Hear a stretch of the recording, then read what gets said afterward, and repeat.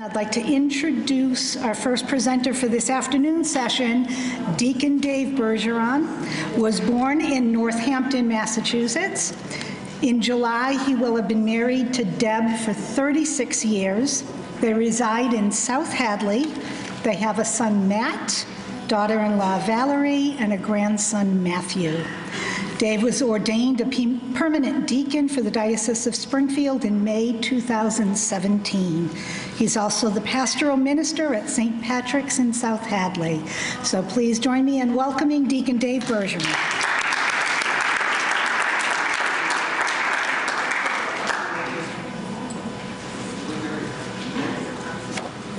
applause and you haven't even heard anything yet. I'm in trouble here.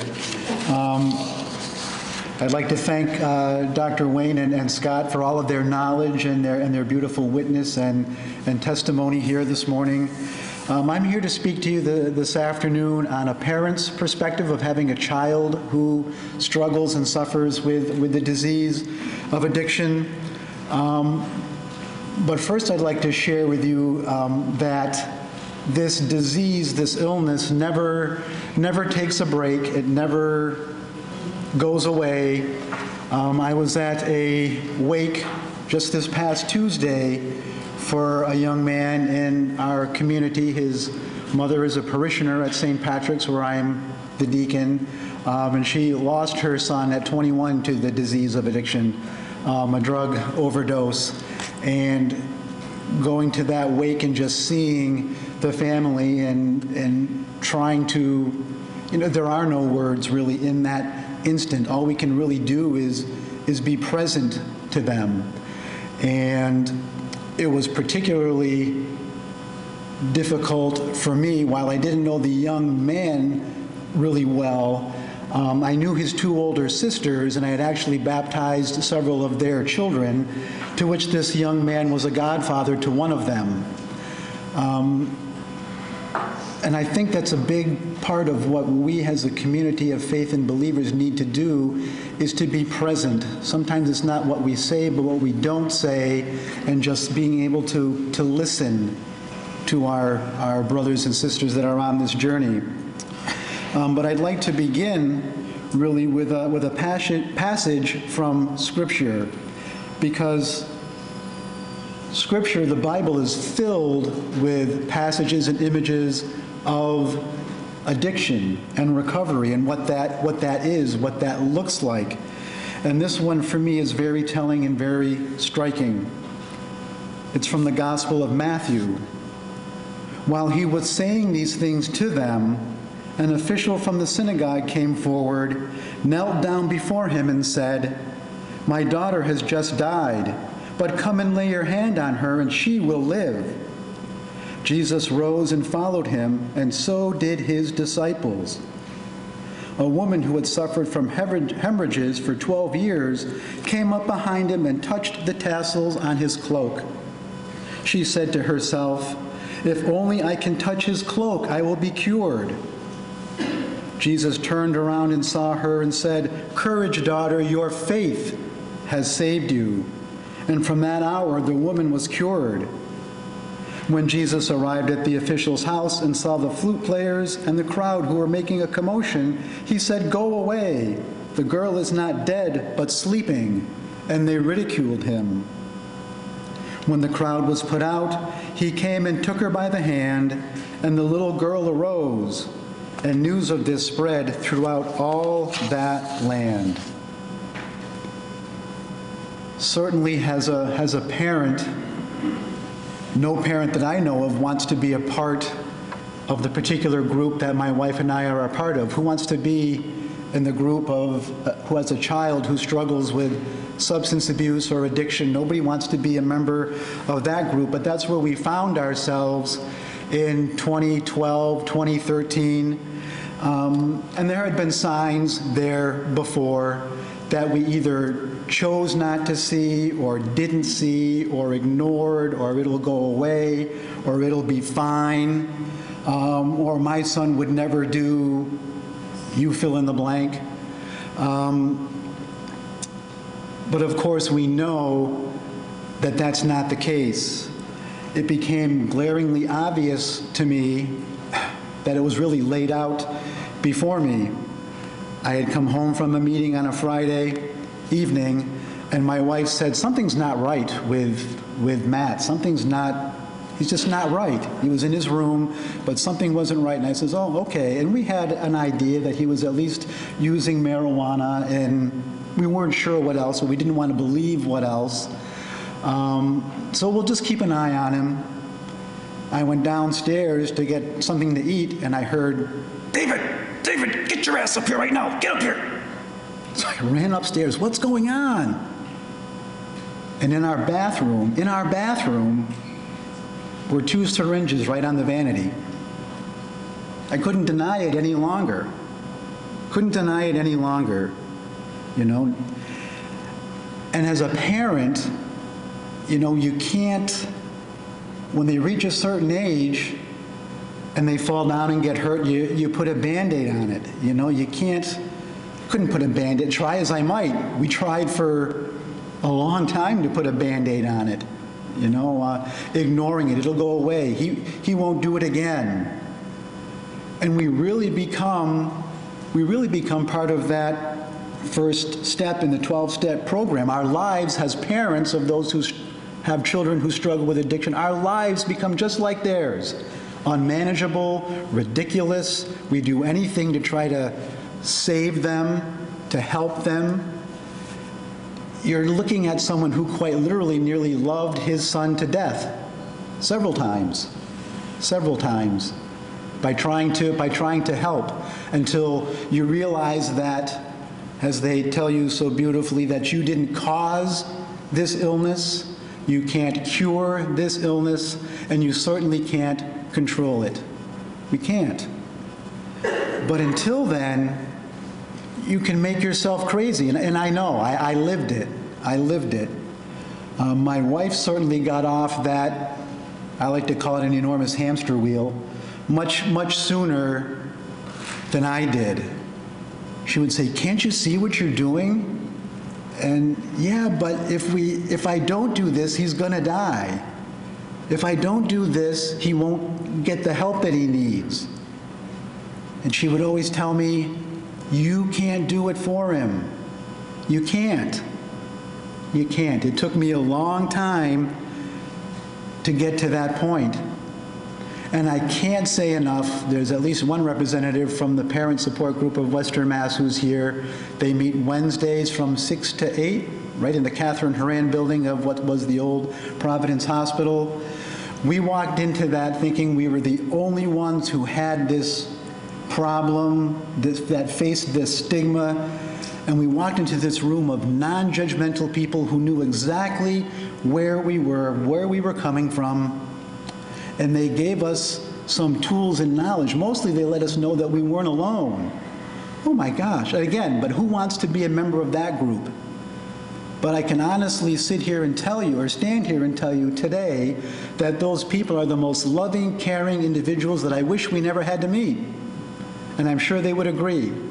You know, because again, who wants to be a part of that, of that particular group?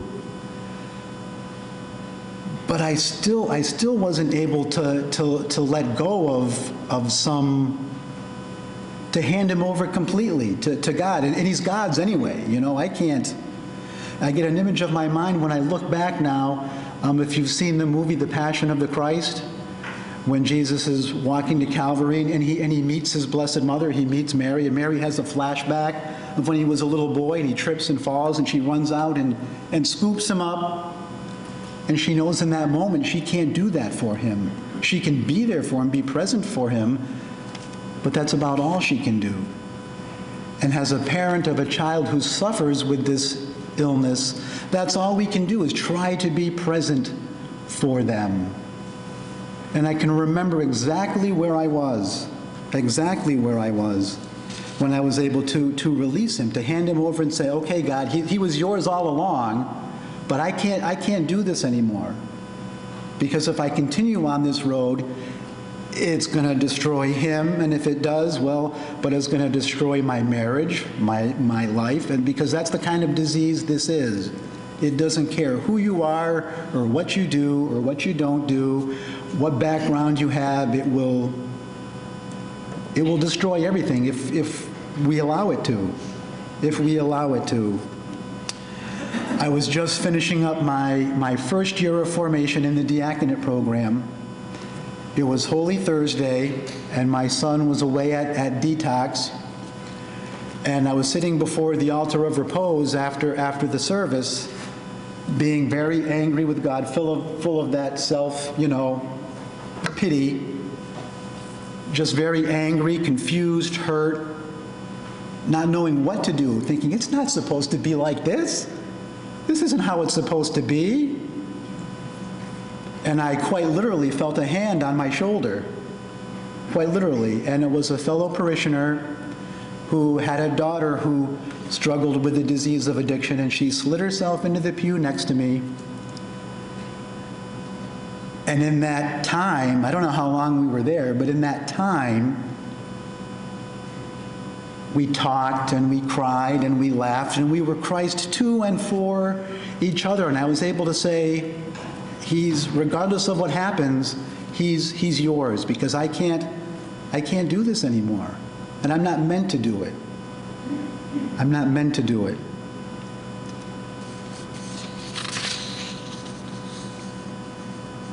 Getting back to this scripture passage that I read, really helps me identify what someone who struggles with the disease of addiction is going through, but also those who love them, their parents or grandparents or siblings.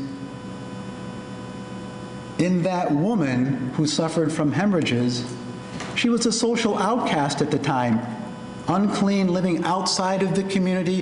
Who knows the last time anyone saw her? And in that beautiful line, Jesus turned around and saw her. Saw her for who she was. In her pain and in her suffering, your faith has saved you. Your faith has saved you. And in that synagogue official, what kind of parent wouldn't do all that they could do for their child. Most synagogue officials during Jesus' day weren't going to come and throw themselves at the feet of Jesus and for any reason. I can't do this. I can't help her, but you can. You can.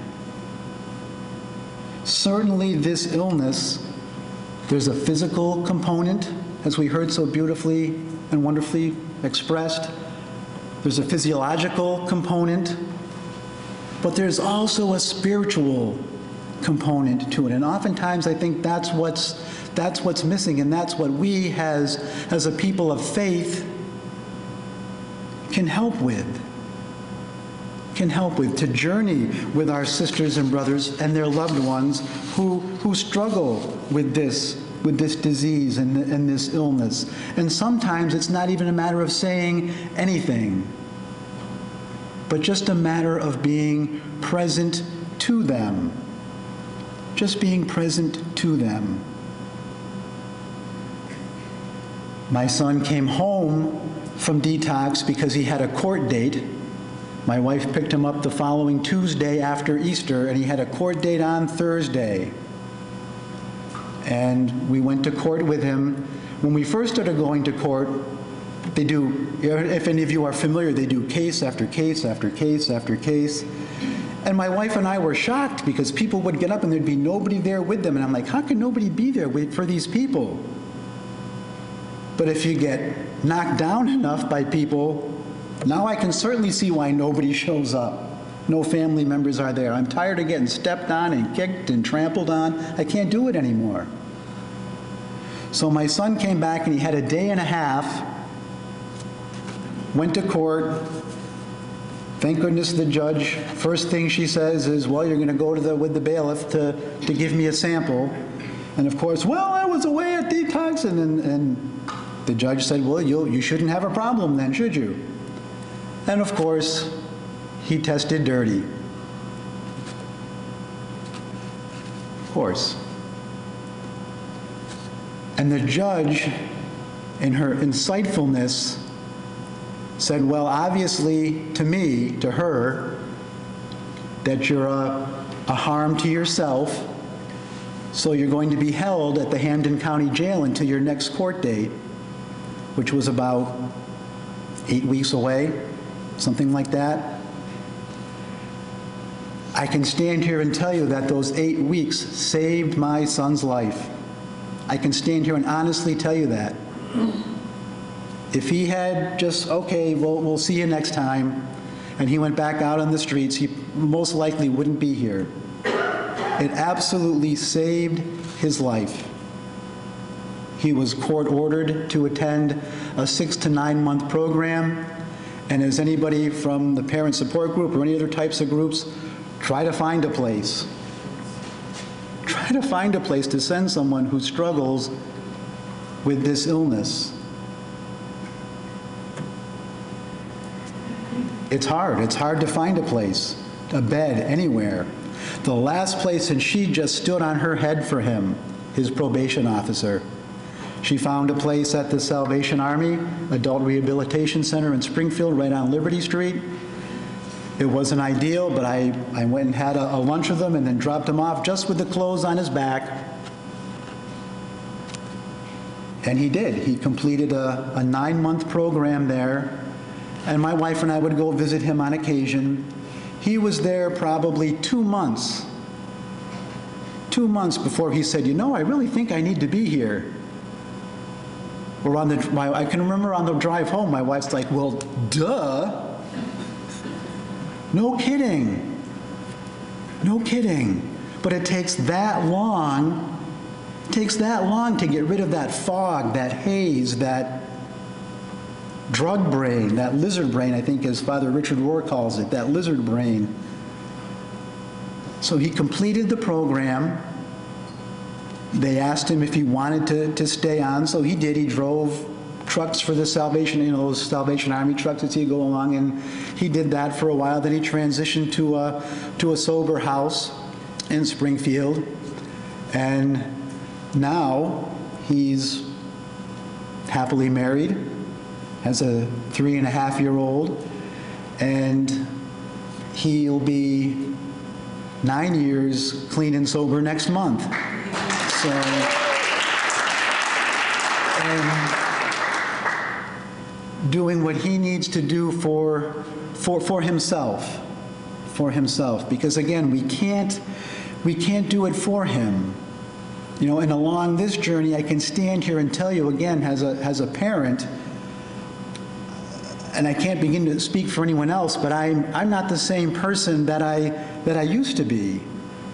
I can never look at someone who struggles with any addiction the way, the same way ever again. As a matter of fact, I can stand here and tell you, and again, I'm ashamed to say it, but I was one of those parents who, who knew parents who had children who struggled with the disease, and I would say, I wonder what the hell they did.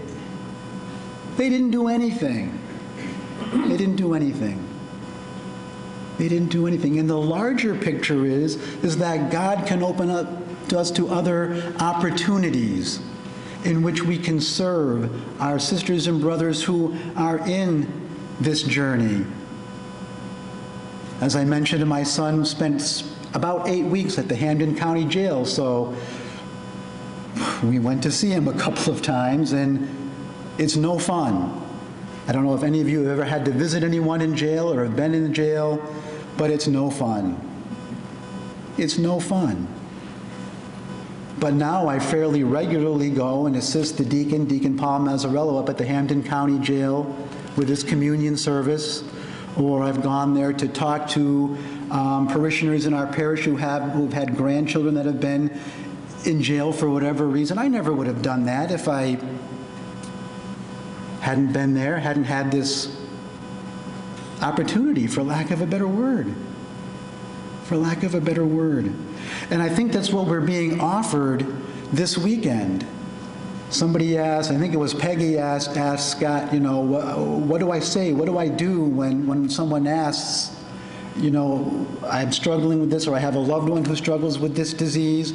And we're learning that now, and hopefully we can all be part of that greater, that greater conversation You know, because it's really about just being present to our sisters and brothers on this journey. Sometimes it's not a matter of saying anything. It's not a matter of saying anything.